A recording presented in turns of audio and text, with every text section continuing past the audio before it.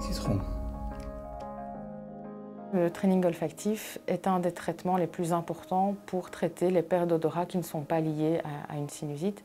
Donc, par exemple, les troubles d'odorat euh, post-infectieux, comme on peut avoir après le Covid par exemple, ou les troubles d'odorat post-traumatiques, donc suite à euh, un coup, un traumatisme au niveau de la tête. Ce training olfactif, c'est quoi? C'est une exposition répétée et structurée à des odeurs. Répétée, c'est quelque chose qu'on va faire deux fois par jour et qu'on va faire pendant une durée de minimum 3 à 4 mois structuré parce que quand je fais mon training, je dois me focaliser, je dois vraiment voir ça comme un moment d'entraînement de mon odorat. Euh, il y a des études qui montrent que quand on a un problème d'odorat suite à une infection, donc après le Covid, après la grippe, euh, eh bien, appliquer des gouttes de vitamine A au niveau du nez pourra avoir un effet bénéfique supplémentaire au training.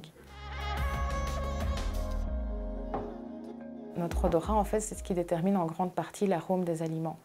Si vous mangez euh, un bonbon à l'orange, votre odorat va vous dire c'est à l'orange.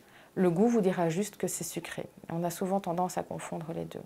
Et donc, quand on perd l'odorat, on va avoir tendance à manger plus sucré, plus salé, à se détourner de certains aliments parce qu'ils peuvent nous sembler moins bons, parce qu'on a parfois des distorsions euh, de l'odeur ou de l'arôme des aliments.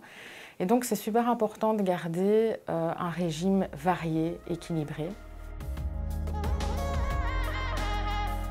Dans le cadre du Covid, eh bien là, il y a pour l'instant un débat de savoir est-ce qu'il faut donner la cortisone à un stade précoce ou pas. Euh, on n'a pas encore de réponse actuellement et donc pour l'instant, nous, on recommande en tout cas de ne pas en donner systématiquement. C'est important de voir le patient en consultation à distance de son infection évidemment. Et si là on a des signes d'inflammation au niveau du nez, si on a des signes de sinusite, si on a des signes d'allergie, évidemment ça fait partie de, de nos armes thérapeutiques et c'est une arme qu'on va utiliser.